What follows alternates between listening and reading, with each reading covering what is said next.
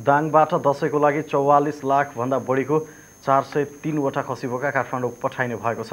नेपाल खाद्य संस्थान कार्यालय तुलसीपुरले सहुलियतको खसी बोका दाङमा खरिद गरेर काठमाडौँ पठाएको हो। असोज तिन गतेदेखि कार्यालयमै खसी बोका खरिद केन्द्र सञ्चालन गरेको नेपाल खाद्य संस्थान अञ्चल राप्तीले चार सय तिनवटा खसी बोका काठमाडौँ पठाएको कार्यालय प्रमुख कृष्णप्रसाद चौधरीले जानकारी दिनुभयो।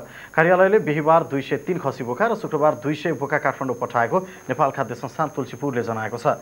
खाद्य संस्थान कार्यालय राप्ती तुलसीपुरले जिउँदो पच्चिस किलोभन्दा कमका बोकालाई तिन सय साठी रुपियाँ प्रति किलो पच्चिस किलोसम्मको खसीलाई तिन सय सत्तरी रुपियाँ र त्योभन्दा माथिकोलाई तिन सय पचासी रुपियाँ प्रति किलोको दरले चार सय तिनवटा खसी बोका खरिद गरी पठाएको कार्यालय प्रमुख चौधरीले जानकारी दिनुभयो।